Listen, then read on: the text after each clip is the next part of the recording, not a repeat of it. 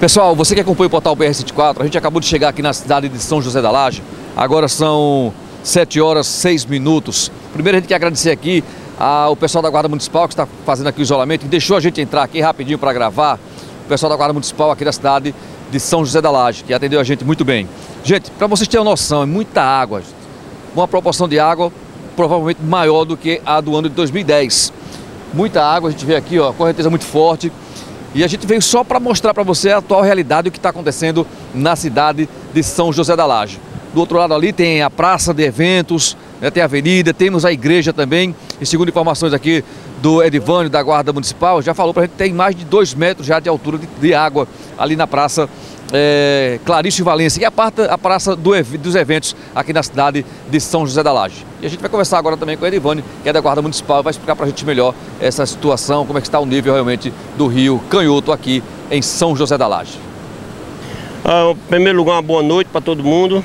Que Deus e controle esse desmantelho que está aqui no São José da Laje. A atenção está drobada. Tanto a Guarda Municipal, a Defesa Civil, todo mundo atento com esse nível, essa, isso que está acontecendo aqui em São José da Laje. Como não é só aqui, é aqui descendo por aqui abaixo, Barra de São Miguel, é, na Barra, é União dos Palmares, e atenção é drobada, drobada mesmo. Como é que tá, você tem notícia do pessoal do povoado Caruru? Não, o pessoal do Caruru não tem notícia. Eu sei que o pessoal aqui da Laje, que foi de Beira do Rio, está tudo no colégio, foi retirado tudinho a Defesa Civil junto com a Guarda Municipal, retirou todo o pessoal, está tudo nos colégios.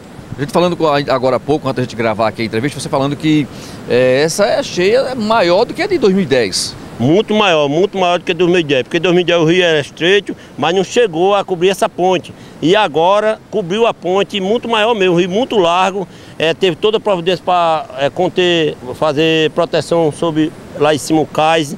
E sempre a, essa cheia agora está sendo maior do que a 2010. Desde cedo que o rio está cheio, assim, não, não, não, não baixou, né?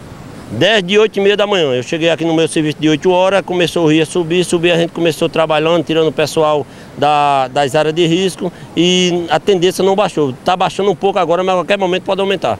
Você tinha informação de como é que está é está a situação lá para o lado de Pernambuco? Não, tenho não. Até agora no momento porque desligou tudo a internet, sem energia a gente não tem, não tem informação de jeito nenhum, nem da usina Serra Grande como é que está não. A usina Serra Grande também ficou sabendo que tá, tem muita água, né? O escritório cheio d'água. Muita água, a usina Serra Grande, muita água. Os trabalhadores de manhã, 8 e meia, 9 horas do dia, retornaram todo mundo para casa. A usina tirou todo mundo lá do, do, do trabalho, retornou todo mundo para suas casas e ficou lá a atenção drobada lá na usina Serra Grande. Bom, pessoal, como vocês podem notar aqui, olha, tá iso... a área aqui está isolada, ninguém passa. Quem está do outro lado não passa para cá, quem está do lado de cá não pode passar para lá porque a água está passando aqui por cima do rio, por cima da ponte aqui do Rio Canhoto, na cidade de São José da Laje. E a água está aí. Vocês podem notar, correnteza muito forte. Isso mostra que o rio continua subindo. Com imagens de Rayane Rodrigues, Alexandre Tenório para o portal BR-104.